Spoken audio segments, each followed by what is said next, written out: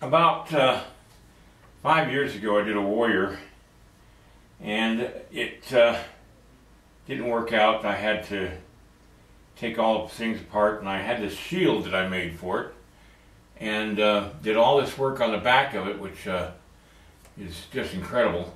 And it's a concave shield, so it's a war shield. And I find it fits this piece perfectly, so I'm going to put this onto his uh, arm here and uh, after I get done with yarn. that'll save me a ton of work.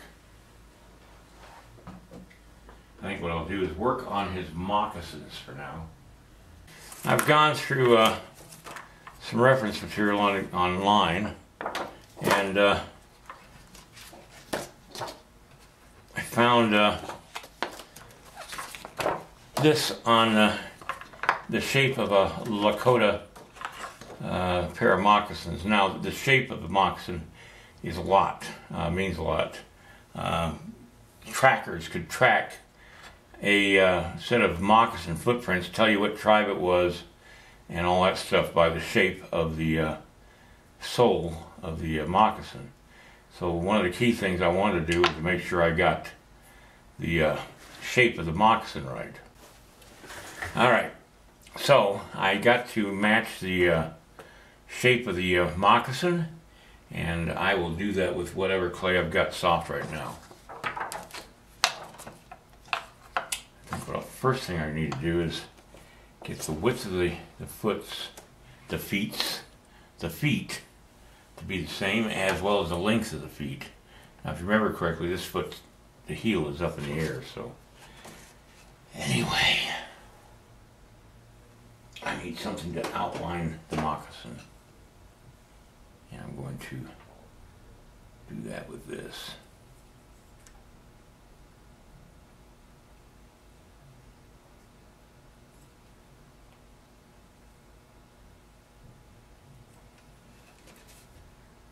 There we go. Now, do the same thing over here.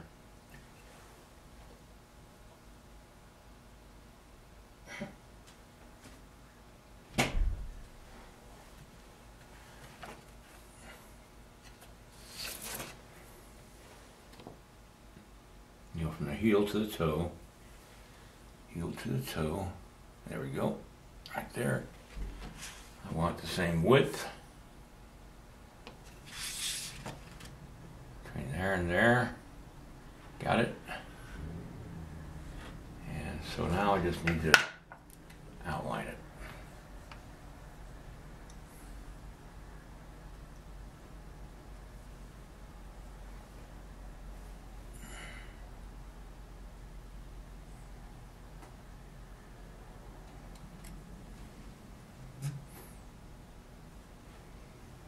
Okay.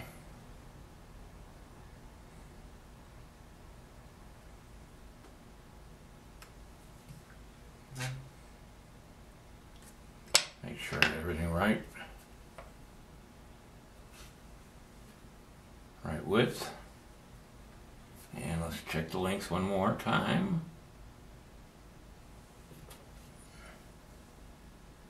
And the right length.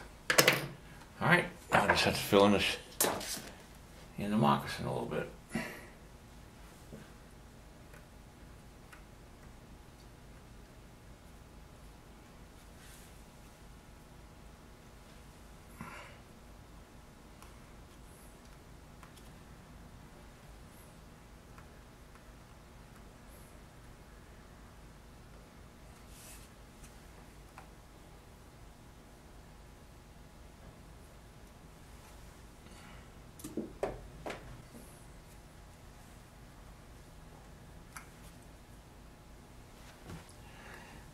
This mannequin here to to uh, get my feet right.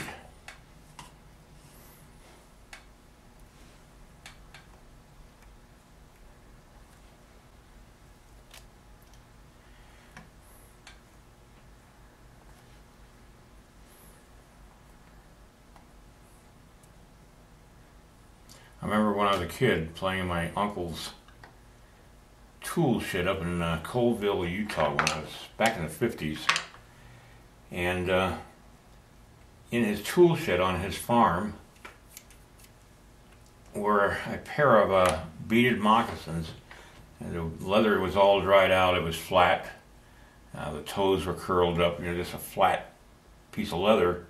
And just because nobody took care of the moccasins for years. And it basically just sat in that tool shed. And I'm certain it was Ute Indian moccasins because uh, that was the type of Indians that were around at that time in that uh, area. Uh, so it was kind of cool. It's, I've always remembered those moccasins. I just uh, just keep thinking about it, and I wonder who ended up with them. If anybody, probably still in that tool shed.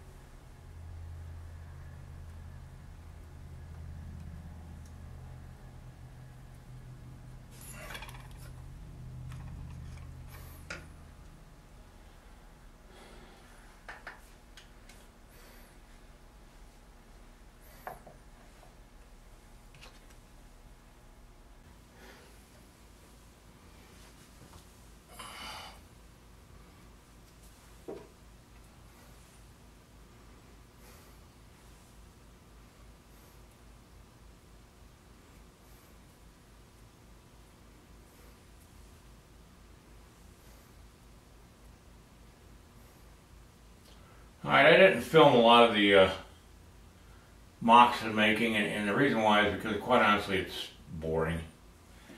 Um, what I'm going to do is I'm going to at least sketch this bone in, or muscles in, of the uh, arm here, and get this started so that tomorrow morning when I come in, I can uh, start working on it uh, right away and uh, get into this uh, whole thing here.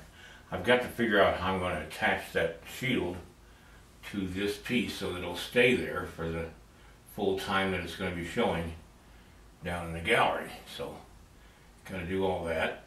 I'm uh, just basically roughing in the hands right now. And uh,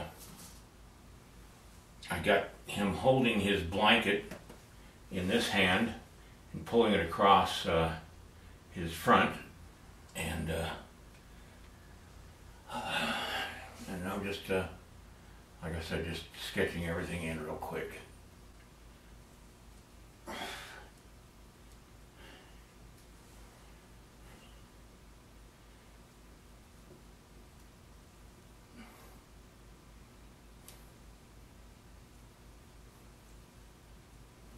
I gotta be careful again not to make him look like Arnold Schwarzenegger. And so that's what I'm basically doing.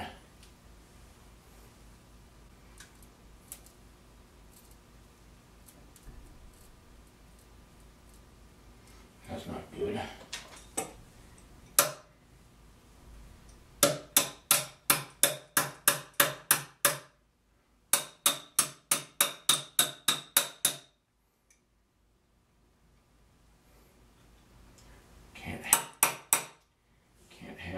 Was uh, moving on me because it's going to be transported along about 800 miles down to uh, Park City, about 150 to, uh, or just about 200 miles to Jackson Hole, and then they're going to load it up into a truck and take it down to Park City, Utah.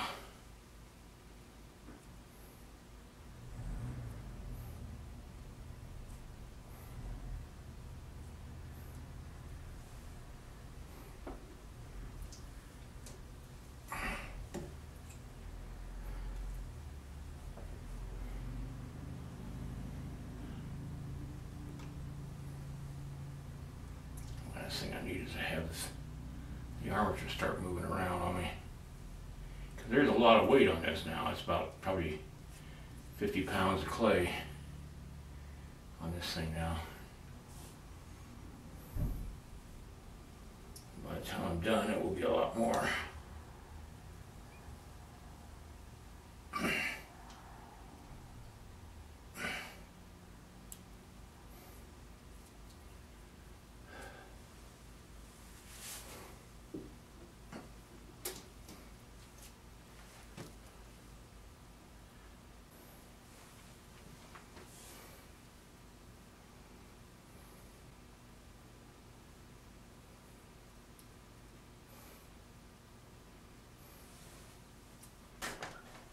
All right, let's review what I've done today.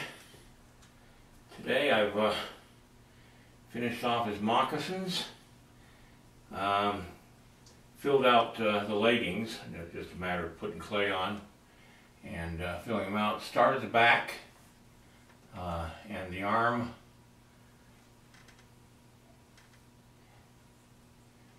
And that's going to work out good, I think. And uh, what took the most time were those moccasins, getting them just right. Um, the shield, I'm not even sure where I'm going to put it yet. I might just have it hanging off his back. I don't know. Or have him holding on to it and having it hang down there. That might be what I'll do.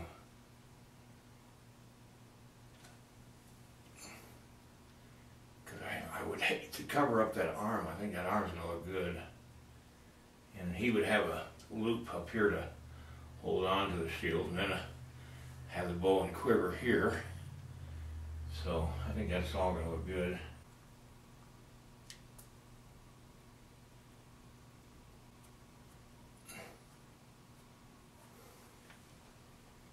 See, I've already got the back of the shield done. That's what takes time, is doing all that kind of detail work. And I've got that detail work done.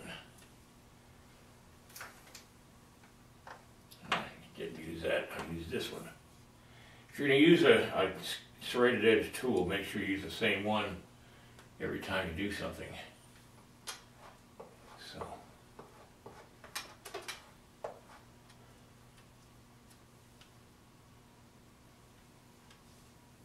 Okay, it's on there good.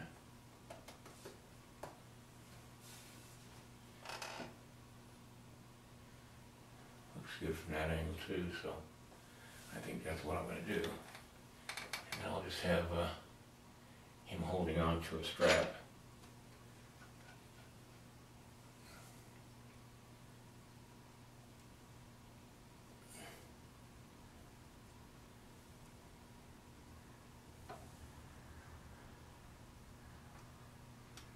Yeah, anyway, I'll come back tomorrow, like I said, and get this going. I just wanted to try that out before I went home. All right, good night, everybody, and I'll see you tomorrow.